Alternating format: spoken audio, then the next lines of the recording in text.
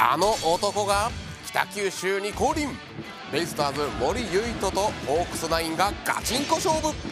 同学年で大の仲良し岩宮との大親友対決にさらに去年までバッテリーを組んだ甲斐とも熱きバトルが。注目の見逃せない戦いその結末は？さあホークス参りますけどもね。開幕前からねもう絶好調なんですよね。対外試合無敗ですから。まだ負けてません。そしてオープン戦でもねやりますよ。モモスコープということで去年までの戦友との激アツな対決に注目してください。おととい北九州で行われたベイスターズとのオープン戦で早速この男にモモスコープ。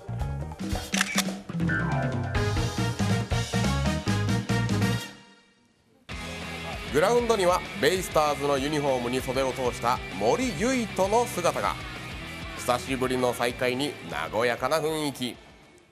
しかし試合になるとバチバチの勝負が。2番手でマウンドに上がった森と対するのは特別な思いで打席に立ったという同学年で大親友の今宮。振り抜いた打球はセンター前に落ちるタイムリーツーベース。親友対決は今宮に軍配が上がります。続く5回にはまたしても熱い対決が。去年までバッテリーを組んでてですね、まあ、いろいろ投げる球種などは分かってたので、まあ、そういったことを頭に入れながら打席には立ちました。カーブを狙い撃ちした打球はなんとレフト中段に突き刺さるスリーランホームラン。戦友の再出発に手痛い一発。北九州での打率は4割超えと好相性の男にチームメイトからも。この一発が決勝打となったホークス。対外試合5連勝です。そして昨日は韓国のベアーズと今年初の PayPay ドームでの試合。1番に抜擢された育成3年目河村が大暴れ。第1打席ヒットで出塁するとすかさず走る。盗塁成功。足で見せます。その後もランナー三塁の場面で左ピッチャーの初球をきっちり捉え犠牲フライ。支配下登録へ猛アピールを続けます。さらにはこの男からまたも快音が。なんと甲斐が2試合連続のホームラン。課題の打撃向上へ今シーズンは一味違います。一方の投手陣では3番手で登板した藤井が驚愕のピッチング。3者連続三振に抑えると。続く松本裕樹は2つの三振を含む三者凡退。今年もリリーフ陣は盤石です。さらに4番手では今シーズン初の実戦登板守護神オスナ。先頭をストレートで三振に切って取ると。続くバッターは変化球で空振り三振。オスナも危なげなく三者凡退に抑え絶対的守護神も健在。これで対外試合6連勝だ!一番活躍したと言ってもらえるような成績を、えー、残したいな。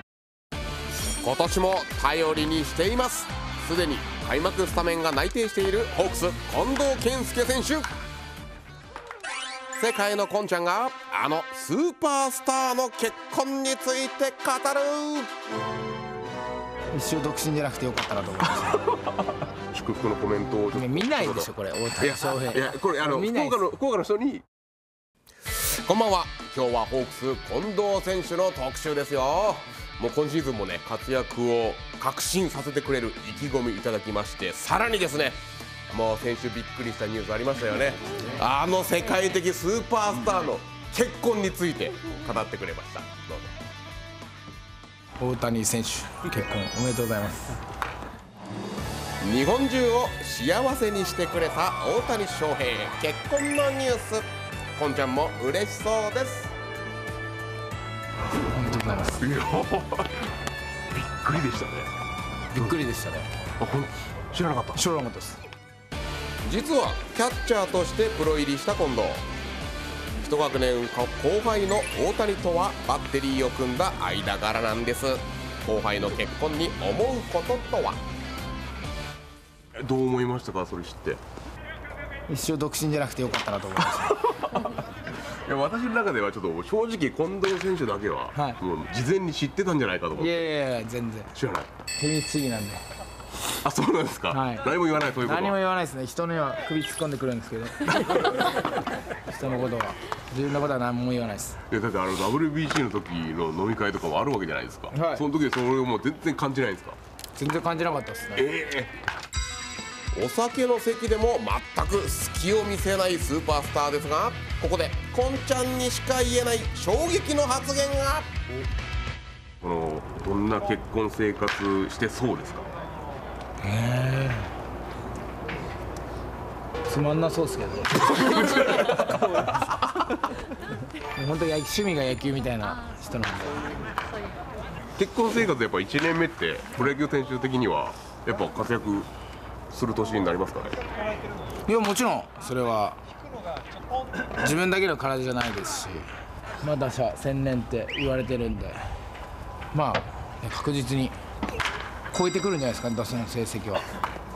実際近藤選手の1年目の時は結婚1年目の時は良かったですか？よかったっすね、はい、そう。こんちゃんが結婚した2019年は絶好調。出塁率は4割を超え8年目にして初めて打撃部門でのタイトルを手に。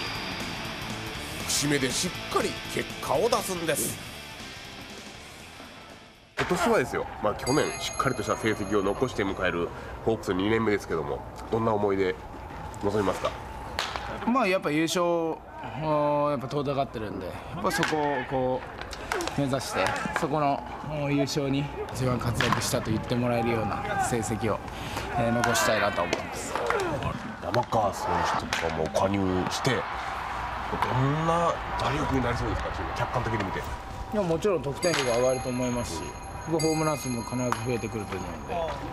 まあやっぱねソロよりツーランスリーランの方がいいと思うんで。その前に、えー出る仕事も必ず大事になってくると思うんで。まあそういうところの、はい、役割っていう意味でも担っていかないといけない立場だと思います。まさにそんな役割を果たしたのが侍ジャパンでの近藤。去年の WBC では大谷の前を打つ不動の2番バッターとして輝きを放ちましたそして明日から始まる侍ジャパンの強化試合にホークスからただ一人選出。東京オリンピックでコーチだった井端監督のもと侍ジャパンに近藤ありを証明します。まあいろいろお考え方だったりっていうのはある程度分かってるかなと思うんで、まあ、そういう岩瀬さんの野球を体現できるようにやっていきたいなと思います。まあ、正直ホークスからもう一度選ばれてほしかったなっていうのは。まあまあまあまあ本戦のプレミアには山ほど選ばれてもらえるかなと思いますけど、はい、ありがとうありがとうございます。ございました